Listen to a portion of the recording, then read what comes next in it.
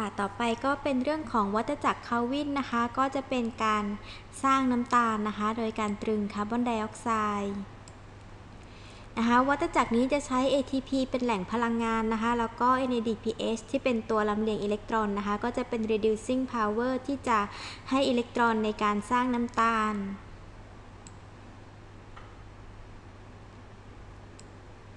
วัฏจักรคัลวินแบ่งได้เป็น 3 ส่วนหรือว่า 3 ระยะด้วยกันนะคะ ก็คือส่วนแรกเป็น carbon fixation ก็คือเป็นการตรึงคาร์บอนไดออกไซด์ส่วนที่ 2 เป็นการ reduction ก็คือเป็นการรับอิเล็กตรอนจาก NADPH เข้ามานะคะ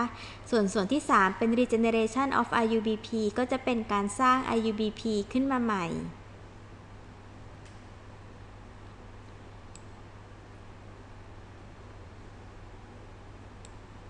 อันนี้ก็เป็นวัฏจักรคัลวินนะคะ ก็คือว่า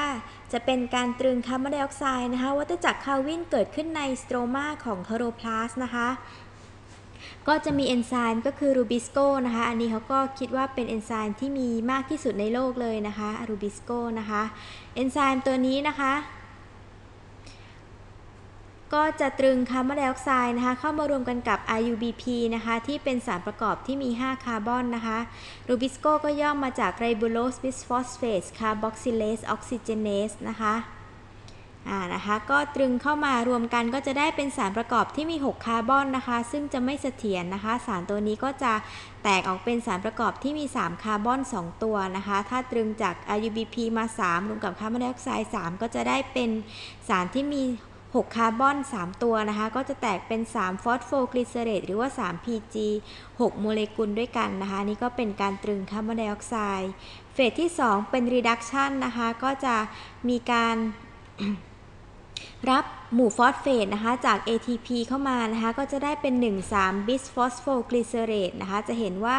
มีหมู่ฟอสเฟตต่อกับคาร์บอนตำแหน่งที่ 1 แล้วก็3นะคะส่วนคำว่า bis หรือ bi ตรงนี้ก็จะแปลว่า 2 ก็คือมีหมู่ฟอสเฟต2หมู่นะคะ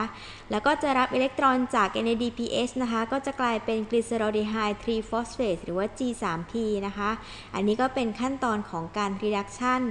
จาก G3P 6 โมเลกุลนะคะ1โมเลกุลจะหลุดออกไปจากวงโคจรเพื่อที่จะนำไปสร้างเป็นน้ำตาล แล้วก็สารประกอบอื่นๆต่อไปนะคะสำหรับการดำรงชีวิตของพืช ก็จะเหลือ G3P อีก 5 โมเลกุลนะคะ ขั้นตอนนี้ก็จะเป็น regeneration of IUBP นะคะ เป็นการสร้าง RuBP ขึ้นมาใหม่ ซึ่งก็จะประกอบด้วยปฏิกิริยาหลายขั้นตอนด้วยกัน แล้วก็จะมีการใช้หมู่ฟอสเฟตนะคะจาก ATP นะคะ ตรงนี้จาก G3P นะคะ เป็นสารที่มีคาร์บอน 3 อะตอม 5 โมเลกุล รวมกันก็เป็น 15 คาร์บอนนะคะ ก็จะเกิดกระบวนการหลายขั้นตอนเพื่อที่จะไปสร้างเป็น RuBP ก็คือจะเป็นสารที่มีคาร์บอน 5 อะตอม 3 โมเลกุล รวมแล้วก็จะ 15 คาร์บอนเท่าเดิมนะคะ แล้วก็เข้าสู่วัฏจักรรอบใหม่ได้ต่อไป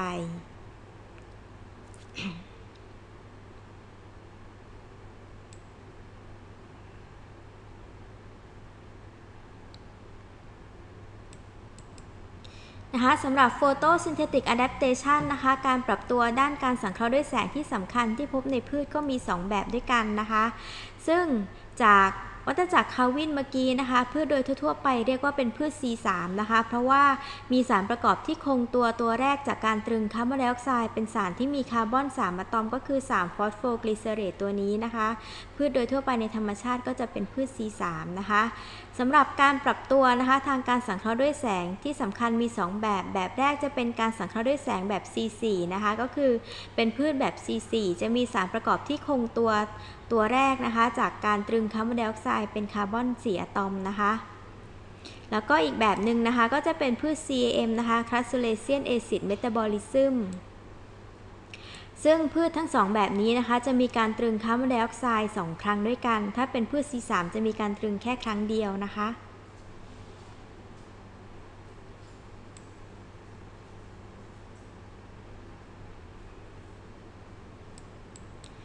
สำหรับพืช C4 นะคะ อันนี้ก็เป็นภาคตัดขวางของใบพืช C4 นะคะ leaf anatomy นะคะ ก็จะประกอบด้วย upper แล้วก็ lower epidermis ใช่ไหมคะ แล้วก็เซลล์ mesophyll นะคะ แล้วก็จะมีเซลล์ในชั้น bundle sheath นะคะ เป็นเซลล์ที่อยู่ล้อมรอบท่อลำเลียงที่มีสีม่วงตรงนี้นะคะ ในพืช C4 เซลล์ในชั้น bundle sheath จะมีคลอโรพลาสต์นะคะ ในขณะที่พืช C3 หรือพืชโดยทั่วไป อาจจะไม่มีคลอโรพลาสต์ในเซลล์ชั้น bundle sheath นะคะ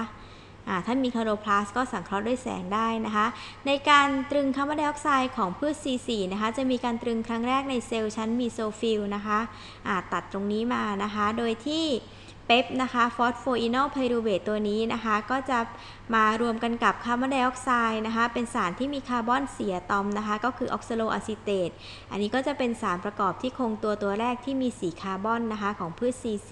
โดยเอนไซม์ PEP carboxylase นะคะ oxaloacetate ก็จะถูกเปลี่ยนเป็น malate นะคะ malate จะเข้าไปสู่เซลล์ในชั้น bundle sheath นะคะ แล้วก็ปลดปล่อยคาร์บอนไดออกไซด์ออกไปนะคะ ตัวมันก็จะกลายเป็น pyruvate ที่มี 3 คาร์บอนนะคะ คาร์บอนไดออกไซด์ตัวนี้ก็จะเข้าสู่วัฏจักรคัลวินตามปกติต่อไปในเซลล์ชั้น bundle sheath ก็จะได้เป็นน้ำตาลที่เข้าสู่ท่อลำเลียง เพื่อลำเลียงไปยังส่วนต่างๆ ของพืชนะคะ ส่วน pyruvate ตัวนี้ที่มี 3 คาร์บอนจะย้อนกลับเข้ามาในเซลล์ชั้น mesophyll นะคะ แล้วก็รับหมู่ฟอสเฟตจาก ATP ก็จะกลายเป็น PEP นะคะ แล้วก็เข้าสู่การตรึงคาร์บอนไดออกไซด์รอบใหม่ได้ต่อไป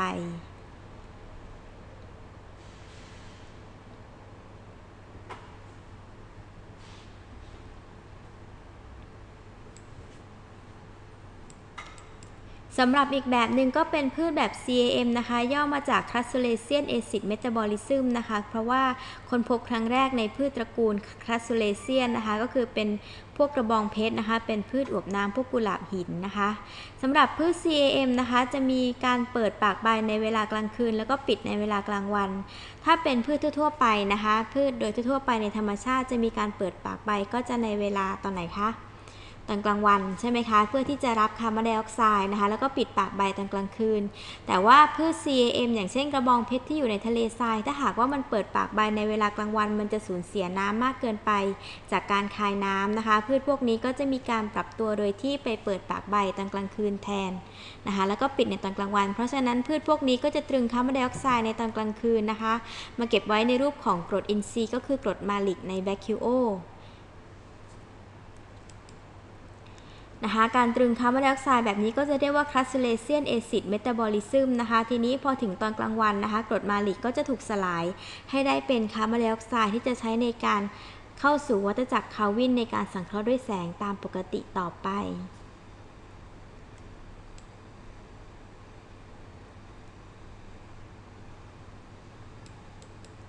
ทีนี้เราลองมาเปรียบเทียบพืช C4 กับ CAM กันบ้างนะคะ พืช C4 ก็อย่างเช่นพวกอ้อยข้าวโพดข้าวฟ่างที่เป็นพืชเขตร้อนนะคะ เป็นพืชจำพวกหญ้าบางชนิดนะคะ ก็จะมีการตรึงคาร์บอนไดออกไซด์2ครั้งใช่ไหมคะ โดยทั้ง 2 ครั้งนี้นะคะ จะเกิดขึ้นในเวลากลางวัน แต่ว่าต่างสถานที่กันนะคะ ในเวลาเดียวกันแต่ต่างสถานที่ก็คือเป็นเวลากลางวัน แต่ว่าตรึงครั้งแรกในเซลล์ชั้น mesophyll แล้วก็ตรึงครั้งที่ 2 ในเซลล์ชั้น bundle sheath นะคะ แต่ถ้าเป็นพืช CAM อย่างเช่นสับปะรดนะคะ จะมีการตรึงคาร์บอนไดออกไซด์2ครั้ง ซึ่งทั้งสองครั้งนี้มีสถานที่เดียวกันก็คือในเซลล์ชั้น mesophyll แต่ว่าจะต่างเวลากันนะคะ ก็คือตรึงครั้งแรกในตอนกลางคืนใช่ไหมคะ เก็บไว้ในรูปของกรด malic นะคะ พอตอนกลางวันก็จะปลดปล่อยคาร์บอนไดออกไซด์แล้วก็ตรึงครั้งที่ 2 เข้าสู่วัฏจักรคัลวินในเวลากลางวัน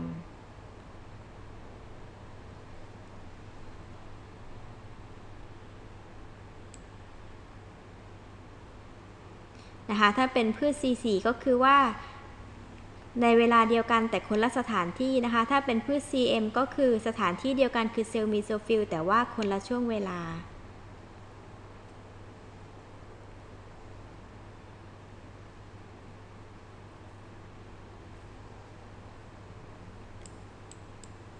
สำหรับการหายใจระดับเซลล์เมื่อกี้เราเรียนเรื่องการสังเคราะห์ด้วยแสงกันไปแล้วใช่ไหมคะ ทีนี้ก็เป็นเรื่องของการหายใจนะคะ ก็คือสิ่งมีชีวิตจะต้องมีการหายใจระดับเซลล์ ซึ่งเป็นการสลายสารอาหารนะคะ เพื่อที่จะให้ได้เป็น ATP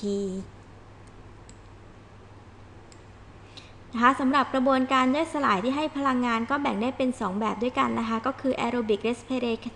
respiration นะคะ การหายใจแบบใช้ออกซิเจน แล้วก็ anaerobic respiration การหายใจแบบที่ไม่ใช้ออกซิเจน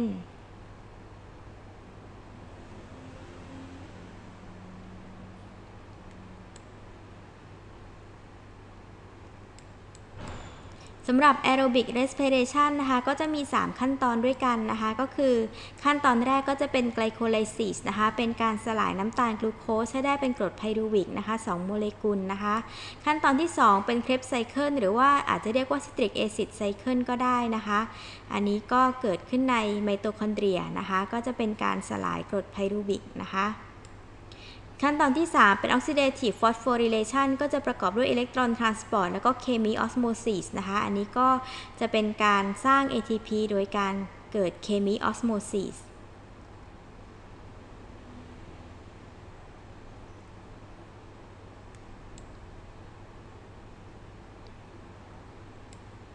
ทีนี้เราลองมาดู overview กันนะคะ ภาพรวมก็คือ glycolysis ก็จะเกิดในไซโตพลาซึมนะคะ เป็นการสลายกลูโคสที่เป็นน้ำตาลที่มี 6 คาร์บอนให้ได้เป็น pyruvate ที่มี 3 คาร์บอน 2 โมเลกุลนะคะ ขั้นตอนนี้จะได้ ATP ออกมาแบบ substrate level phosphorylation นะคะ แล้วก็ให้อิเล็กตรอนกับ NAD บวกนะคะได้เป็น NADH นะคะ ตัวนี้จะเป็นตัวลำเลียงอิเล็กตรอน NADH ก็ย่อมาจาก nicotinamide adenine dinucleotide นะคะ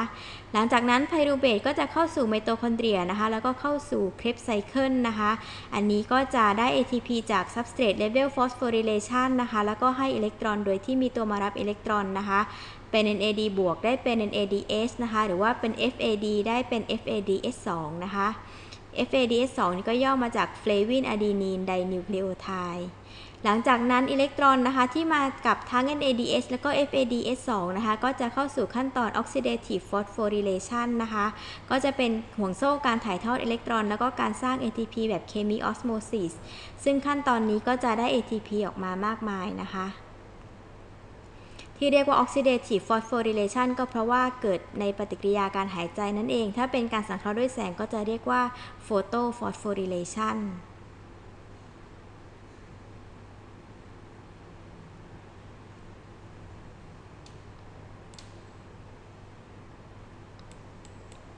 สำหรับไกลโคไลซิสนะคะคำว่าไกลโคไลซิสแปลว่า splitting of sugar ก็คือการแยกหรือว่าการสลายน้ำตาลนะคะ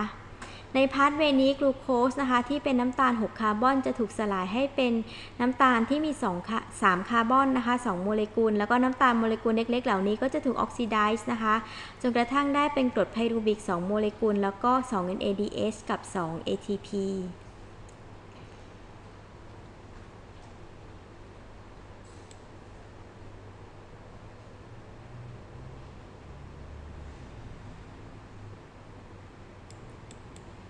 นะคะสำหรับ glycolysis นะคะก็จะแบ่งได้เป็น2 phase ด้วยกันนะคะ phase แรกหรือว่าระยะแรกก็จะเป็น energy investment phase นะคะก็คือว่าจะมีการใช้พลังงานนะคะ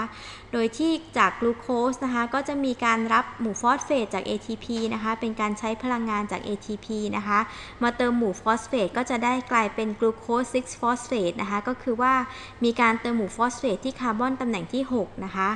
หลังจากนั้นก็จะถูกเปลี่ยนเป็นฟรุกโตส6ฟอสเฟตนะคะที่เป็นไอโซเมอร์กันนะคะ แล้วก็จะมีการรับหมู่หมู่ฟอสเฟตเข้ามาอีกหมู่หนึ่งจาก ATP นะคะก็จะเป็นฟรุกโตส1,6 bisphosphate ก็คือมีหมู่ฟอสเฟตที่คาร์บอนตำแหน่งที่ 1 แล้วก็ 6 นะคะ มี 2 มีหมู่ฟอสเฟต2 หมู่ด้วยกัน หลังจากนั้นฟรุกโตส6ฟอสเฟตนะคะ โดยเอนไซม์ aldolase จะถูกเปลี่ยนเป็นสารที่มี 3 คาร์บอน 2 โมเลกุลก็คือdihydroxyacetone phosphate หรือว่า DHAP นะคะ แล้วก็ glyceraldehyde 3 phosphate หรือว่า G3P นะคะ ซึ่งทั้ง 2 ตัวนี้ก็จะเป็นไอโซเมอร์กันนะคะ สามารถเปลี่ยนรูปร่างกลับไปกลับมาได้นะคะ โดยเอนไซม์ isomerase นะคะ แต่ว่าตัวที่จะเข้าสู่ขั้นตอนถัดไปมีแค่ตัวเดียวก็คือ G3P เพราะฉะนั้น DHAP ตัวนี้จะต้องถูกเปลี่ยนเป็น G3P ซะก่อนถึงจะเข้าสู่ขั้นตอนต่อไปได้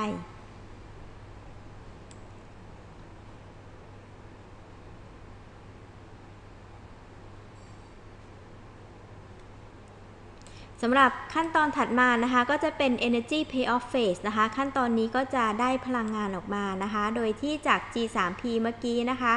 ก็จะให้อิเล็กตรอนกับเป็น AD บวกได้เป็น NADS นะคะ ตัวมันก็จะเปลี่ยนเป็น 13 bisphosphoglycerate นะคะ ตรงนี้เราจะเห็นว่ามีเลข 2 แล้วใช่ไหมคะ ก็เพราะว่าจากกลูโคส 1 โมเลกุลนะคะ ก็จะถูกเปลี่ยนมาเป็น 13 bisphosphoglycerate ได้ 2 โมเลกุลนั่นเองนะคะ หลังจากนั้นนะคะก็จะ ให้พลังงานนะคะก็คือให้หมู่ฟอสเฟตนะคะสร้าง ATP นะคะก็จะเปลี่ยนเป็น3 phosphoglycerate นะคะหลังจากนั้นก็ถูกเปลี่ยนเป็น2 phosphoglycerate นะคะที่เป็นไอโซเมอร์กันนะคะแล้วก็โดยเอนไซม์ enolase นะคะก็จะถูกเปลี่ยนเป็น phosphoenolpyruvate หรือว่า PEP นะคะตัวนี้ PEP นะคะแล้วก็จะให้อีก 2 ATP นะคะ ก็จะเปลี่ยนเป็น pyruvate หรือว่ากรด pyruvic นั่นเองนะคะ จากขั้นตอนที่เป็น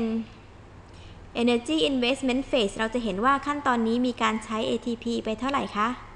2 ATP ใช่ไหมคะ ใช้ไป 2 ATP นะคะ ส่วนขั้นตอน Energy Payoff Phase นะคะ ก็จะได้ ATP ออกมา 4 ATP นะคะ แล้วก็ได้ NADH ออกมาด้วยนะคะ แล้วก็น้ำนะคะ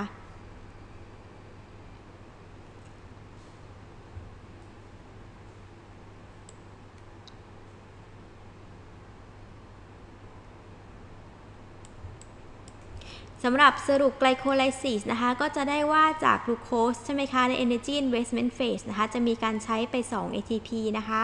ส่วน Energy Payoff Phase ก็จะได้คืนออกมา 4 ATP แล้วก็ได้เป็น NADH ออกมานะคะ ผลผลิตจากกลูโคสก็จะได้เป็น 2 ไพรูเวทแล้วก็น้ำสำหรับสมการสรุปหรือว่า net net ออกมาแล้วก็จะได้จาก 1 กลูโคสก็ได้ 2 ไพรูเวทแล้วก็ 2 น้ำนะคะ แล้วก็มีการให้ออกมา 4 ATP แต่ว่าใช้ไป 2 เพราะฉะนั้นจาก ทั้ง glycolysis นะคะก็จะได้ออกมา 2 ATP นะคะแล้วก็ได้ 2 NADH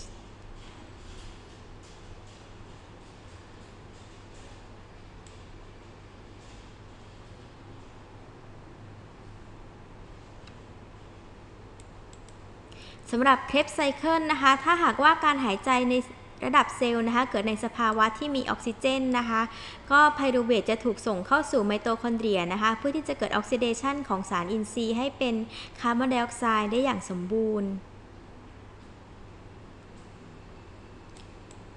นะคะแต่ว่าก่อนที่จะเข้าสู่ Krebs cycle นะคะ จะมีขั้นตอนเล็กๆที่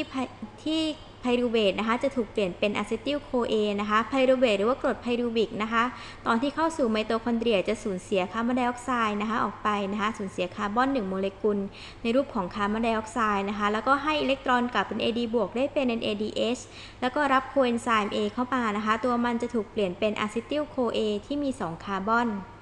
นะคะซึ่ง acetyl CoA ตัวนี้ก็จะเข้าสู่ Krebs cycle ต่อไป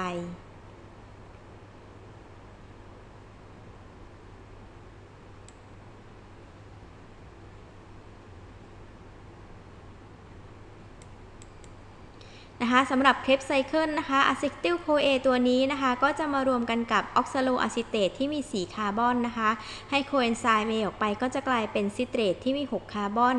สำหรับคาร์บอนที่เขาทำเป็นสีชมพูนะคะ ก็แสดงว่าเป็นคาร์บอนที่มากับ acetyl CoA นะคะ ส่วนคาร์บอนที่ทำเป็นสีฟ้าก็คือเป็นคาร์บอนที่จะสูญเสียออกไปในรูปของคาร์บอนไดออกไซด์ นะคะ citrate ตัวนี้นะคะที่มี 6 คาร์บอนนะคะก็จะเกิดการจัดเรียงโมเลกุลใหม่นะคะสูญเสียน้ำแล้วก็รับน้ำเข้ามาก็ได้เป็น isocitrate ที่เป็นไอโซเมอร์กันนะคะหลังจากนั้นisocitrate ก็จะให้คาร์บอนออกไปในรูปของคาร์บอนไดออกไซด์นะคะแล้วก็ให้อิเล็กตรอนกลับเป็น AD บวกได้กลายเป็น NADH ตัวมันจะกลายเป็น alpha-ketoglutarate ที่มี 5 คาร์บอน นะคะ alpha-ketoglutarate ตัวนี้ก็จะสูญเสียคาร์บอนในรูปของคาร์บอนไดออกไซด์ออกไปนะคะ แล้วก็ให้อิเล็กตรอนกลับเป็น AD บวกได้เป็น NADH แล้วก็รับโคเอนไซม์ A เข้ามานะคะ ตัวมันก็จะกลายเป็น succinyl CoA ที่มี 4 คาร์บอนสำหรับ succinyl CoA ตัวนี้นะคะ หลังจากนั้นก็จะมีหมู่ฟอสเฟตเข้ามาจับ แล้วก็เอาโคเอนไซม์ A ออกไปนะคะ หมู่ฟอสเฟตตัวนี้จะถูกถ่ายทอดให้กับ GDP นะคะ กลายเป็น GTP ได้ยินไหมคะ GTP หรือว่า GDP นะคะ อันนี้ก็เป็นสารพลังงานสูงคล้ายๆ กันกับ ATP เพียงแต่ว่าเปลี่ยนเบสจากอะดีนีนเป็นกัวนีนนะคะ เป็นสารที่มีพลังงานสูงเช่นเดียวกันนะคะ จาก GDP รับหมู่ฟอสเฟตกลายเป็น GTP นะคะ ก็จะส่งหมู่ฟอสเฟตให้กับ ADP เพื่อที่จะให้กลายเป็น ATP อีกครั้งหนึ่งนะคะ succinyl CoA ก็จะกลายเป็น succinate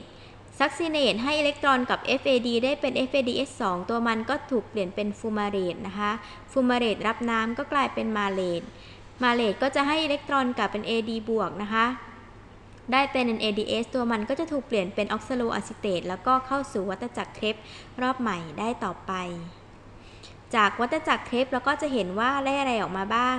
ได้คาร์บอนไดออกไซด์ใช่ไหมคะ2โมเลกุลใช่ไหมคะ แล้วก็ได้ NADH นะคะ เข้ามาออกมานะคะ ได้ FADH2 แล้วก็ได้ ATP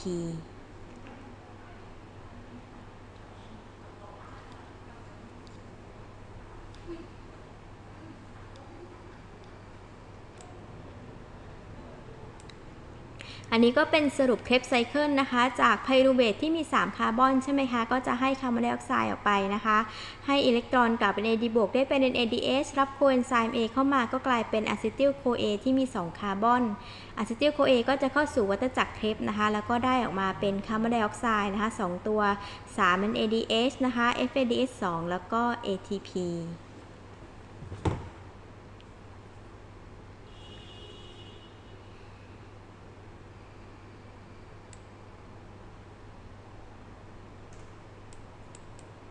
สำหรับ oxidative phosphorylation นะคะ อันนี้ก็จะเป็น electron transport แล้วก็ chemiosmosis นะคะ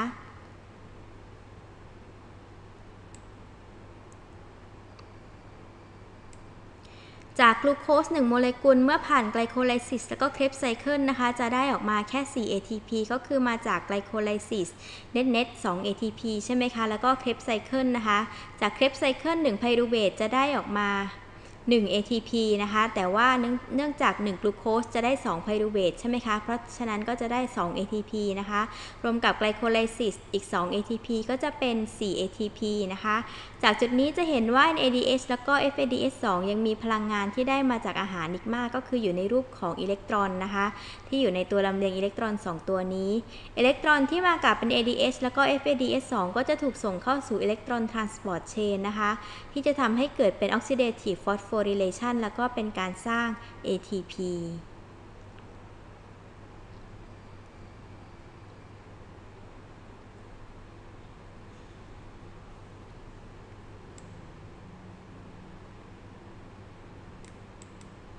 สำหรับพา t เวย์นะคะของอิเล็กตรอนทรานสปอร์ตนะคะ NADH แล้วก็ FADH2 ที่มาจากเคปไซเคิลนะคะ ก็จะส่งอิเล็กตรอนให้กับ electron transport chain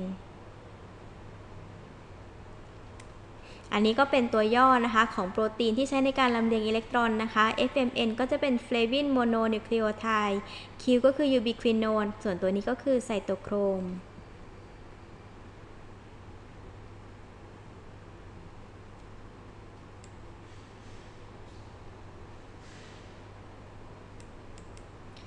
นะคะสำหรับการลำเลียงอิเล็กตรอนนะคะ อันนี้ก็เป็นแผนภาพพลังงานนะคะ แกนตั้งก็จะเป็นพลังงานของอิเล็กตรอนนะคะ ทีนี้อิเล็กตรอนที่มากับเป็น ADH นะคะ ก็จะถูกส่งเข้าสู่โปรตีน complex ต่างๆนะคะ ที่เรียงตัวกันอยู่ที่เยื่อหุ้มชั้นในของไมโตคอนเดรียนะคะ ก็จะถูกส่งให้กับโปรตีน complex 1นะคะ ก็จะถูกส่งให้กับ FMN นะคะ Flavin Mononucleotide แล้วก็จะส่งอิเล็กตรอนให้กับiron sulfur protein นะคะ Ubiquinone นะคะ แล้วก็ส่งอิเล็กตรอนให้กับ protein complex 3นะคะ ที่มี cytochrome B นะคะไอออนซัลเฟอร์โปรตีนไซโตโครม C1 ไซโตโครม C แล้วก็ไปสู่ complex 4ที่มี cytochrome A แล้วก็ cytochrome A3 สุดท้ายแล้วอิเล็กตรอนจะถูกส่งให้กับออกซิเจนนะคะ ออกซิเจนก็จะเป็นตัวรับอิเล็กตรอนตัวสุดท้าย ที่เป็นการหายใจแบบใช้ออกซิเจนนะคะ ก็คือออกซิเจน ตัวนี้จะมีความสำคัญก็คือจะเป็นตัวรับอิเล็กตรอนตัวสุดท้ายนั่นเองนะคะ แล้วก็จะได้เป็นน้ำนะคะ อันนี้เราจะเห็นว่าในตลอดระยะเวลาที่มีการถ่ายทอดอิเล็กตรอน พลังงานของอิเล็กตรอนก็จะลดลงเรื่อยๆนะคะ ซึ่งพลังงานที่หายไปนี้จะใช้ในการปั๊มโปรตอนนะคะ ให้ผ่านนะคะ inner membrane ของไมโตคอนเดรียจากทางด้าน matrix ไปยังด้าน intermembrane space นะคะ พลังงานที่ลดลงก็จะใช้ในการปั๊มโปรตอนนั่นเองนะคะสำหรับอิเล็กตรอนที่มากับ FADH2 นะคะจะถูกส่งเข้าสู่ protein complex 2นะคะก็จะผ่าน FAD iron sulfur protein แล้วก็ไปยัง ubiquinone แล้วก็ลงมาต่อไปนะคะ อันนี้ก็จะเห็นว่าก็จะมีการปั๊มโปรตอนน้อยกว่านะคะ อิเล็กตรอนที่มากับเป็น ADH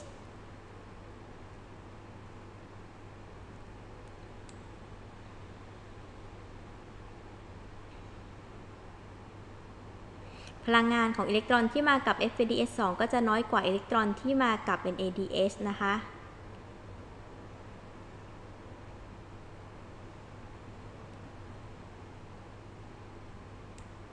ภาพนี้ก็จะแสดงให้ดูการถ่ายทอดอิเล็กตรอนนะคะ อันนี้ก็จะเป็นเยื่อหุ้มชั้นในของไมโตคอนเดรียนะคะ ถ้าเราดูรูปนี้นะคะ ส่วนที่เป็นสีเหลืองก็จะเป็นด้าน matrix นะคะ ส่วนที่เป็นสีส้มก็จะเป็น intermembrane space หรือว่าช่องว่างระหว่าง เยื่อหุ้มชั้นนอกกับชั้นในนะคะ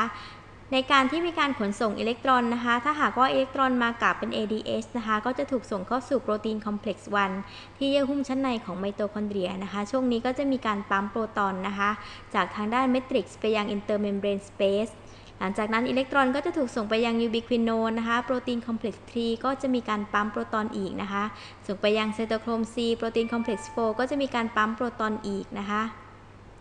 แล้วก็สุดท้ายอิเล็กตรอนนะคะ ก็จะไปรวมตัวกันกับออกซิเจน แล้วก็โปรตอน แล้วก็จะกลายเป็นน้ำ นะคะสำหรับโปรตอนเมื่อมีการปั๊มมาก ๆเข้านะคะก็จะเกิดเป็นความแตกต่างระหว่างความเข้มข้นของโปรตอนระหว่าง 2 บริเวณนะคะก็คือ matrix กับ intermembrane space นะคะก็จะเกิดเป็น proton motive force นะคะเป็นแรงขับของโปรตอนที่พยายามจะย้อนกลับเข้ามาทางด้านเดิม แต่เนื่องจากว่าโปรตอนไม่สามารถเคลื่อนที่ผ่าน membrane ได้ใช่ไหมคะเพราะว่า membrane ไม่มีขั้วนะคะมันจะย้อนกลับมาทางฟาก matrix ได้ทางช่องของเอนไซม์ ATP synthase เท่านั้นนะคะทีนี้พอโปรตอนเคลื่อนที่กลับมาเอนไซม์ตัวนี้ก็จัดการนะคะสร้าง ATP จาก ADP แล้วก็ฟอสเฟตนะคะนี่ก็จะเป็นการสร้าง ATP แบบ chemiosmosis นะคะสำหรับอิเล็กตรอนที่มากับ FADH2 นะคะก็จะผ่านเข้ามาทาง protein complex 2 complex 2นะคะ แล้วก็ผ่าน protein complex 3แล้วก็ flow ไปยังออกซิเจนนะคะ นี่จะเห็นว่าจะเกิดการปั๊มโปรตอนน้อยกว่านะคะ เกิดการปั๊มแค่ 2 ครั้งนะคะ ถ้าเทียบกับอิเล็กตรอนที่มากับเป็น ADH ที่จะปั๊มโปรตอนได้มากกว่า แล้วก็จะสร้าง ATP ได้มากกว่า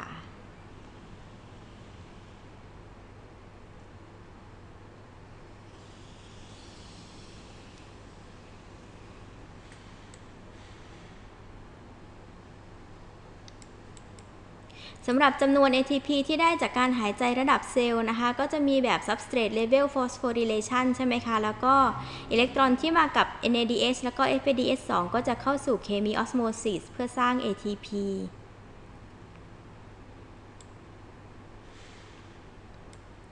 นะคะ ทีนี้เราจะเห็นว่าถ้าเรายังจำได้นะคะ จะมี NADH ที่มาจากกระบวนการไกลโคไลซิสใช่ไหมคะ ซึ่ง NADH นี้จะต้องส่งอิเล็กตรอนเข้าไปเข้าสู่การถ่ายทอดอิเล็กตรอนภายในไมโตคอนเดรีย แต่ว่า NADH มันจะเข้าไปยังไมโตคอนเดรียไม่ได้นะคะ เพราะฉะนั้นมันจะต้องมีการถ่ายทอดอิเล็กตรอนข้ามเยื่อหุ้มของไมโตคอนเดรีย แล้วก็มีตัวที่มารับอิเล็กตรอนจากภายในไมโตคอนเดรียอีกทีนึงนะคะ มันจะทะลุผ่านไมโตคอนเดรียเข้าไปไม่ได้ เพราะฉะนั้นทางนี้ก็ขึ้นอยู่กับว่าอะไรจะมารับอิเล็กตรอนนะคะจากภายในไมโตคอนเดรีย ถ้าหากว่าเป็นเซลล์ไตตับแล้วก็หัวใจนะคะ ตัวที่มารับอิเล็กตรอนก็จะเป็น NAD บวกนะคะ ก็จะกลายเป็น NADH แต่ถ้าเป็นเซลล์กล้ามเนื้อแล้วก็สมองตัวที่มารับอิเล็กตรอนที่เยื่อหุ้มไมโตคอนเดรียก็จะเป็น FAD นะคะ ก็จะได้เป็น FADH2 ซึ่ง1 NADH นะคะ เมื่อผ่านห่วงโซ่การถ่ายทอดอิเล็กตรอนก็จะให้ออกมาประมาณ 2.5 ATP ในขณะที่ 1 FADH2 จะให้มาประมาณ 1.5 ATP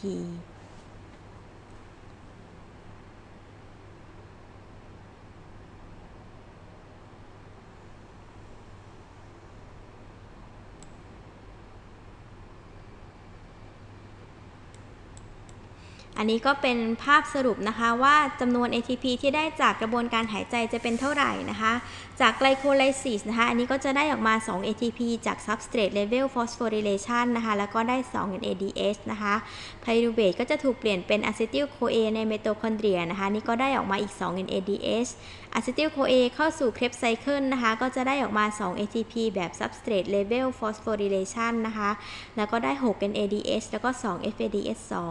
แล้วก็หลังจากนั้นทั้ง NADH แล้วก็ FADH2 ทั้งหมดนะคะ ก็จะถูกส่งเข้าสู่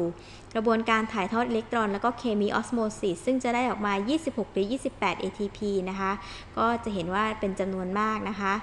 ทีนี้เรา สังเกตไหมว่าทำไมถึงเป็น 26 หรือ 28 ATP ทำไมไม่เป็นตัวเลขตัวเดียวไปเลยทำไมต้องเป็น 26 หรือ 28 ใครตอบได้บ้างทำไมไม่เป็น 26 ไปเลยหรือ 28 ไปเลยทำไมต้องเป็น 26 หรือ 28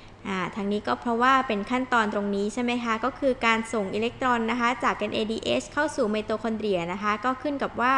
จะมีตัวไหนนะคะ ที่มารับอิเล็กตรอนจากภายในไมโตคอนเดรีย ถ้าหากว่าเป็น NAD บวกมารับนะคะ ก็จะได้เป็น NADH ถ้าเป็น FAD มารับก็จะได้เป็น FADH2 ซึ่งทั้ง 2 ตัวนี้พอผ่านห่วงโซ่ การถ่ายทอดอิเล็กตรอนนะคะ ก็จะให้ ATP ออกมาไม่เท่ากันนะคะ เพราะฉะนั้นอันนี้ก็เป็นสาเหตุที่ว่าทำไมถึงได้เป็น 26 หรือ 28 ATP นะคะ ทีนี้ ATP ทั้งหมดที่ได้จาก 1 กลูโคสนะคะ เมื่อรวมทั้งหมดแล้วก็จะได้เป็น 30 หรือ 32 ATP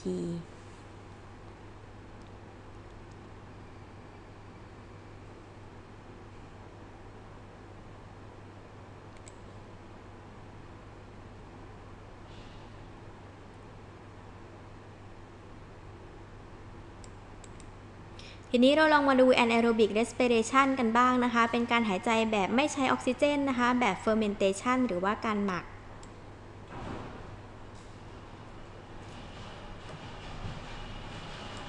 นะคะสำหรับปฏิกิริยา fermentation ก็จะประกอบด้วย glycolysis นะคะ รวมกับปฏิกิริยาที่สร้าง NAD บวกกลับคืนมานะคะ โดยการส่งอิเล็กตรอนจาก NADH ไปให้ไพรูเบตหรือว่าอนุพันธ์ของไพรูเบต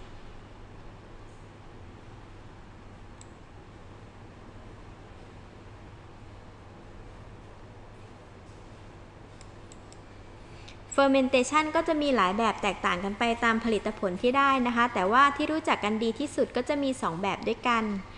ก็คือเป็นแบบแอลกอฮอล์ fermentation ก็คือหมักแล้วได้แอลกอฮอล์นะคะ แล้วก็ lactic acid fermentation ก็คือหมักแล้วได้เป็นกรดแลคติก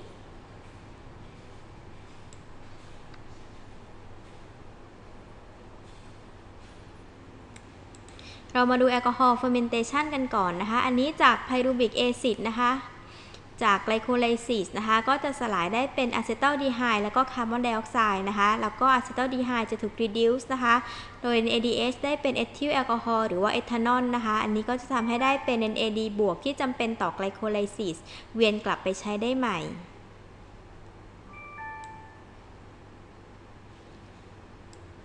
นะคะ alcohol fermentation โดยยีสต์ก็ถูกใช้ในการทำขนมปังแล้วก็เบียร์นะคะ ถ้าใครเคยช่วยแม่นวดแป้งนะคะทำขนมปัง หรือว่าขนมอะไรต่างๆ ที่ใช้ยีสต์จะเห็นว่าพอเรานวดแล้วก็ใส่ยีสต์แล้วก็ตั้งไว้สักพักหนึ่งใช่ไหมคะ แป้งก็จะฟูนะคะ อันนี้ก็คือว่าเกิดคาร์บอนไดออกไซด์ออกมานั่นเอง แล้วก็อาจจะได้กลิ่นแอลกอฮอล์นะคะ ก็คือเป็นการหมักแบบ alcohol fermentation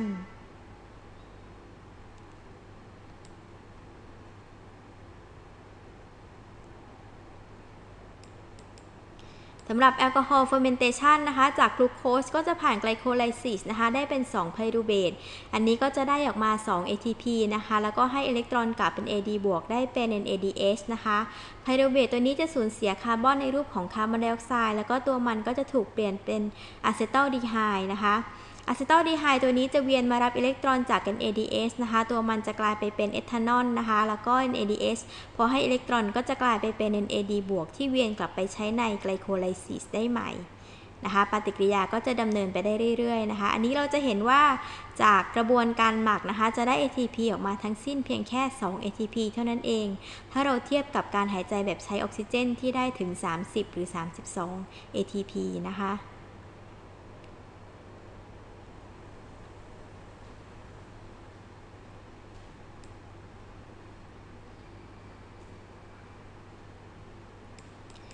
สำหรับ lactic acid fermentation นะคะ pyruvic acid ก็จะถูก reduce โดยตรงนะคะ โดย NADH ได้เป็นกรด lactic ซึ่งก็จะเป็น waste product นะคะ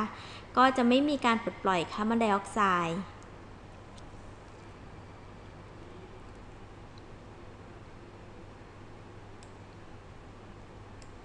ำหรับ lactic acid fermentation โดยฟังจายนะคะ พวกเห็ดราแล้วก็แบคทีเรียบางชนิดนะคะ ก็จะใช้ในอุตสาหกรรมนมโดยที่ใช้ทำในแข็งแล้วก็โยเกิร์ตนะคะ นี่เราจะเห็นว่าโยเกิร์ตมีรสเปรี้ยวใช่ไหมคะ ก็เพราะว่ามีกรดแลคติกนั่นเอง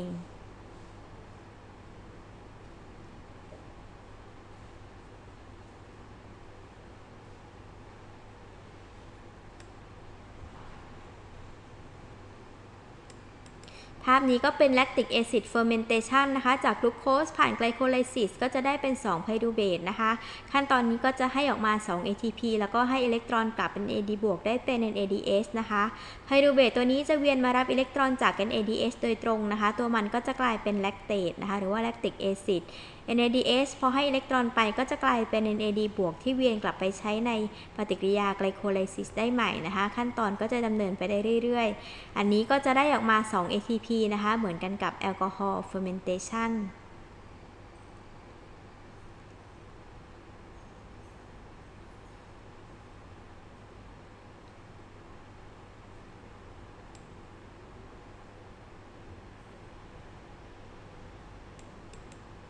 สำหรับการสลายโมเลกุลอาหารต่างๆนะคะ เราใช้โมเลกุลกลูโคสเป็นวัตถุดิบในการหายใจระดับเซลล์ แต่ว่ากลูโคสก็ไม่ได้เป็นอาหารอย่างเดียวที่เราแล้วก็สัตว์อื่นๆกินนะคะ นอกจากนี้เรายังได้พลังงานจาก fat โปรตีน แล้วก็คาร์โบไฮเดรตอื่น ๆ อีกด้วย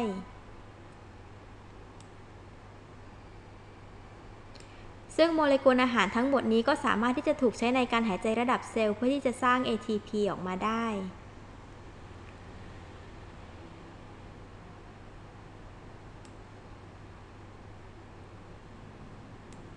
เราลองมาดูกันนะคะ pathway กลางนี้ก็เป็นการสลายคาร์โบไฮเดรตนะคะให้ได้เป็นน้ำตาลโมเลกุลเดี่ยวนะคะ หลังจากนั้นอย่างเช่นกลูโคสนะคะก็จะเข้าสู่กระบวนการหายใจระดับเซลล์ที่เราเรียนมาแล้วนะคะ ก็คืออย่างเช่นถ้าเป็นกลูโคสก็จะกลายเป็น glyceraldehyde 3-phosphate นะคะ ถูกสลายเป็น pyruvate เป็น acetyl CoA แล้วก็เข้าสู่ Krebs cycle หรือว่า citric acid cycle นะคะ แล้วก็ oxidative phosphorylation ได้ออกมาเป็น ATP นะคะ ถ้าเป็นน้ำตาลตัวอื่นก็จะถูกสลายแล้วก็เข้าสู่ขั้นตอนต่างๆ ตามนี้นะคะ แต่ถ้าหากว่าเป็นโปรตีนบ้างนะคะ ถ้าเรากินเนื้อสัตว์ได้โปรตีนนะคะ โปรตีนก็จะถูกย่อยเป็นหน่วยย่อยก็คือกรดอะมิโนใช่ไหมคะ ทีนี้ก่อนที่จะเข้าสู่กระบวนการกลางนะคะ ก็จะต้องมีการนำหมู่อะมิโนออกซะก่อนนะคะ กรดอะมิโนก็จะมีหมู่อะมิโนใช่ไหมคะ จะมีกระบวนการดีอะมิเนชันนะคะ เอาหมู่อะมิโนออกไปนะคะ หลังจากนั้นถ้าหากว่าหรือสารประกอบที่มี 3 คาร์บอน ก็อาจจะเข้าสู่ขั้นตอนของการเป็น pyruvate นะคะ ถ้ามี 2 คาร์บอนก็เข้าสู่ acetyl CoA ถ้ามี 4 5 หรือ 6 คาร์บอน ก็จะกลายเป็นสารตัวกลางใน Krebs cycle แต่ถ้าหากว่าเรากินไขมันนะคะ ก็จะถูกย่อยสลายเป็นกลีเซอรอลกับกรดไขมันใช่ไหมคะ กลีเซอรอลมี 3 คาร์บอน ก็จะถูกเปลี่ยนเป็น glyceraldehyde 3-phosphate นะคะ ส่วนกรดไขมันนะคะ ก็จะถูกย่อยสลายโดยกระบวนการ beta oxidation นะคะ ก็จะกลายเป็น acetyl CoA หลาย ๆ โมเลกุลนะคะ ก็จะเข้าสู่กระบวนการ acetyl CoA แล้วก็เข้าสู่ขั้นตอนตามปกติต่อไป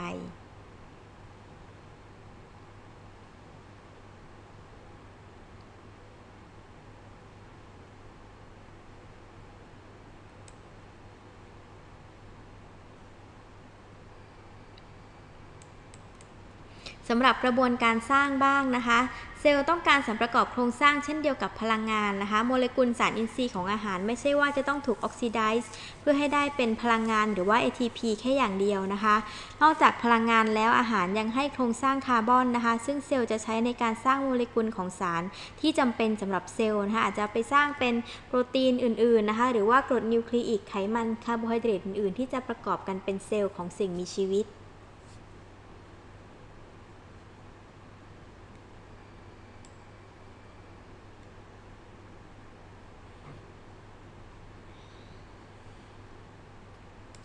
นะคะสำหรับกระบวนการสร้างก็จะเป็นกระบวนการที่ใช้พลังงานจาก ATP นะคะ ถ้าเป็นกระบวนการสลายหรือว่า catabolism ก็จะได้พลังงาน หรือว่า ATP ออกมานะคะ กระบวนการสร้างก็คือ anabolism นะคะ จาก Krebs cycle นะคะ สารตัวกลางใน Krebs cycle ถ้าหากว่าเราเอามาเติมหมู่อะมิโน ก็จะกลายเป็นกรดอะมิโนนะคะ ซึ่งสามารถเอาไปสร้างเป็นโปรตีนได้นะคะ สำหรับ acetyl CoA ที่มี 2 คาร์บอนนะคะ สามารถถูกนำมาสร้างเป็นกรดไขมันนะคะ เมื่อรวมกันกับกลีเซอรอลนะคะ ตรงนี้นะคะ ก็จะกลายเป็น fat หรือว่าไขมัน ส่วนกรดไพรูวิกนะคะ สามารถเกิดกระบวนการ glucose synthesis นะคะ สร้างกลับไปเป็นกลูโคสได้นะคะ ผ่าน G3P นะคะ พอเป็นกลูโคสก็สามารถนำมาสร้างเป็นน้ำตาล แล้วก็โพลีแซคคารายอื่นได้ เพราะฉะนั้นหลังจากนี้ทั้งโพลีแซคคารายไขมันแล้วก็โปรตีนต่างๆ ก็จะถูกนำมาสร้างเป็นส่วนประกอบของเซลล์เนื้อเยื่อ แล้วก็สิ่งมีชีวิตต่อไป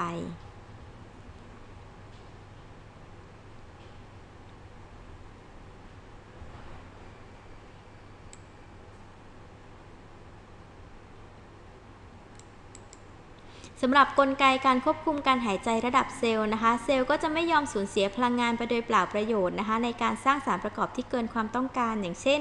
ถ้าหากว่ามีกรดอะมิโนตัวหนึ่งที่ถูกสร้างขึ้นจนเพียงพอแล้วนะคะ กระบวนการสร้างกรดอะมิโนตัวนั้นก็จะถูกยับยั้งไปชั่วคราวนะคะ ก็คือว่าพอแล้วนะคะ ตอนนี้เซลล์มีกรดอะมิโนมากเพียงพอแล้ว กระบวนการสร้างกรดอะมิโนตัวนี้ก็จะถูกระงับไปชั่วคราว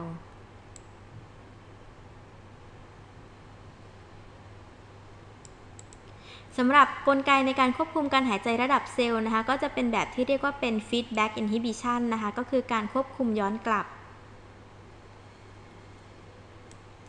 โดยผลผลิตสุดท้ายของกระบวนการก็จะไปยับยั้งเอนไซม์ที่เร่งปฏิกิริยาเคมีในขั้นตอนแรก ๆ ของกระบวนการนะคะ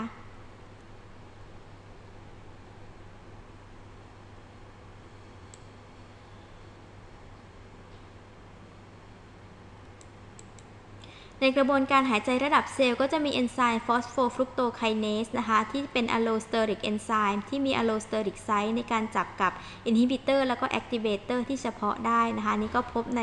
กระบวนการ glycolysis นะคะเอนไซม์ตัวนี้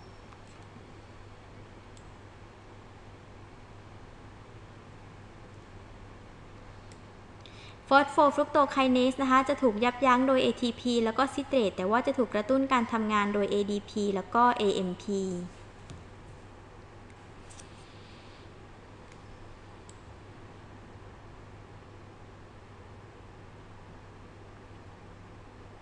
เรามาดูกระบวนการกันนะคะ อันนี้ก็เป็นกระบวนการหายใจระดับเซลล์นะคะ จากกลูโคสนะคะ ผ่าน glycolysis ใช่ไหมคะ ในขั้นตอน glycolysis ก็จะมีเอนไซม์ phosphofructokinase นะคะที่เปลี่ยน fructose 6 phosphate ไปเป็น fructose 1,6 bisphosphate นะคะ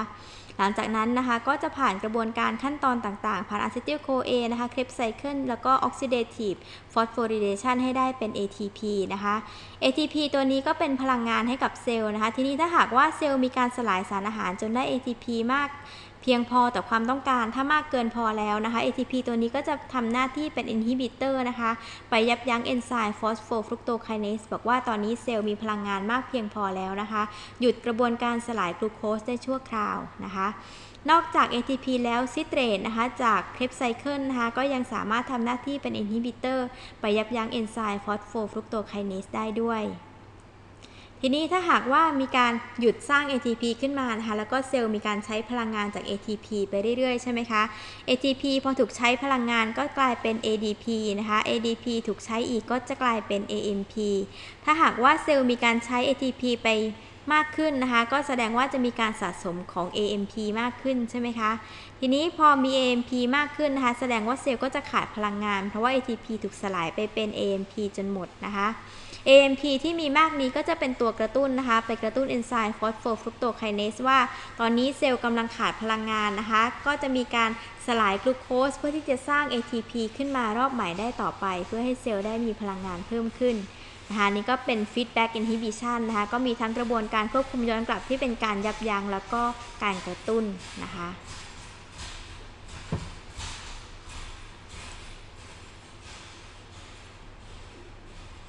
เป็นไงคะ พอเข้าใจไหมคะ ใครมีอะไรสงสัยก็ถามมาได้นะคะ โพสต์มาถามก็ได้นะคะ ก็ต้องขอโทษด้วยที่ไม่สามารถเจอกันแบบสดได้ เพราะว่าคอมพิวเตอร์ไปใช้โปรแกรม Microsoft Teams แล้วคอมของอาจารย์มีปัญหานะคะ ไม่สามารถที่จะถ่ายทอดแล้วก็อัดไปพร้อมกันได้นะคะ